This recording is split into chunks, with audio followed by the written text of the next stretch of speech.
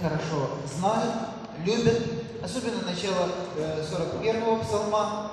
Почему два псалма, почему 41 и 42? Потому что эти два псалма представляют собой смысловое единство. Они одно целое по смыслу, и вы увидите, что эти псалмы вместе надо читать, а не только отдельности.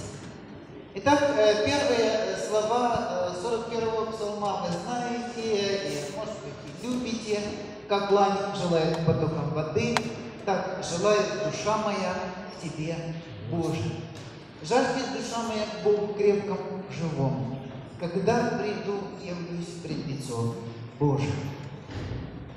Вот э, эти первые два стиха э, 41-го псалма мы можем э, рассматривать по-разному, но на них можно посмотреть и, на, как, э, и как на итог духовного опыта, который пережил псалмопевец. И вот духовный опыт, который привел